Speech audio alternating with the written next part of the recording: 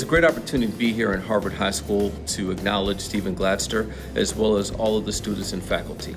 Person doesn't know that you are all here.